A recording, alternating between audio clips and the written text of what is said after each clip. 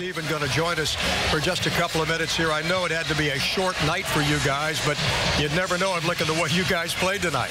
Yeah, it's, uh, you know, definitely, like you said, it was a short, short night. But, you know, we came out. Um, you know, Stras kept us in the game, and uh, we, we found a way to, you know, put some good at-bats together, you know, com combine them, and, uh, you know, it turned out a great night for us.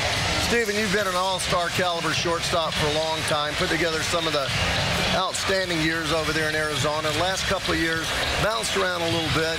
Uh, are you feeling physically, you look like you're swinging the bat the way you did uh, in 2006, 7, 8. Uh, are you feeling that good physically?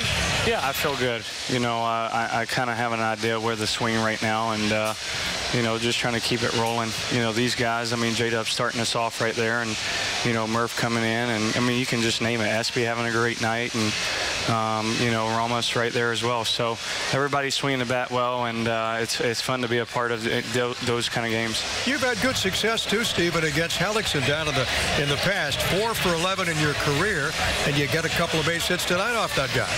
Yeah, I mean, it's, it's one of those things um, playing in Boston and New York, or um, getting to face that guy, you know, a couple of times, handful of times, um, you know, it, it makes uh, seeing him a little easier, kind of have an idea, and, um, you know, was able to put some good swings on.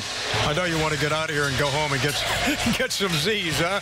And you guys got an early game tomorrow at noon, and, of course, the gala tomorrow night. And we really thank you so much for coming on with Ray and I.